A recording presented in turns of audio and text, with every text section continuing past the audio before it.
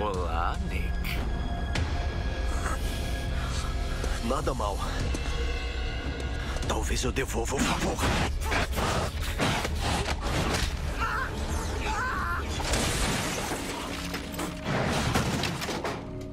Não percebe, velho amigo? Você não pode me vencer. Derrotado pelas mãos de um mero empregado?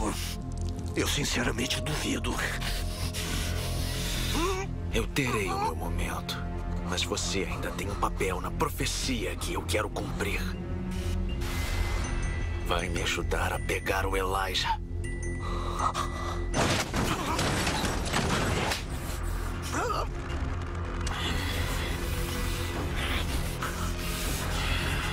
Eu não vou deixar você machucar meu irmão.